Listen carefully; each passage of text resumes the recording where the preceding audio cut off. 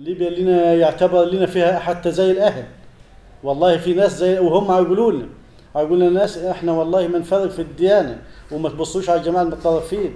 ده أنتوا أهلنا وإحنا متجوزين من مصر ومصر متجوزة من بنغازي وإحنا المصريين ما- عمرنا ما نقدر نستغنى عنهم لأن هم اللي هيزرعوا لنا وهم اللي اللي لنا كل حاجة هم اللي هيصبوا لنا هم اللي أي شغل عندنا قايمه به مصر.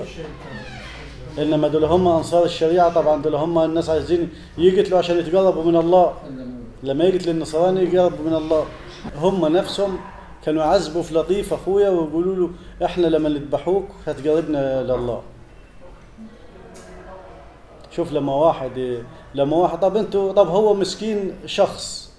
يقفوا ستة الناس تقعد على رجليه وناس تفتح ايديه وواحد يقعد على الايد دي اليد دي وواحد يقعد على اليد دي ويمسكوا له الكواسير والمطار وده يقول والله لا اذبحنا وده يقول والله لا اذبحنا والثاني يقول إيه بس اسحبوه بعيد عن عشان ما ينجسش المكان ويفرشوا له حاجة تحت تحت راسه عشان الدم بتاعه هينجس المكان لو نزل فيه هينجسه.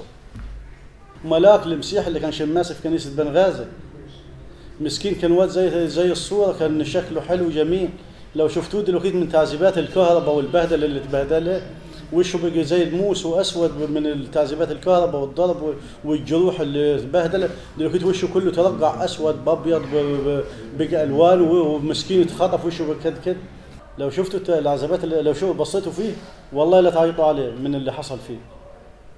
عشان هو مسيحي وعشان ده على إيده صليب.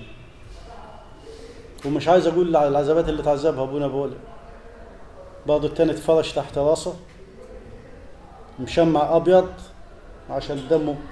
يا عم هو اتفرش لا اتف... زي بعض وأنا آسف لكن هقولها اتفرش تحت راسه مشمع أبيض علشان ما ينجي الدم بتاعه ما ينجسش المكان اللي هينزل عليه. واتضرب واتهان وبالعصي و... وده يتلقاه ي- يتضرب ويجر من ده يتلقى ده ويتضرب ويجر من ده يتلقى ده. راجل كاهن زي كده هو ماسك كنيسة وبعد كده تولع في الكنيسة طب ليه ده كله؟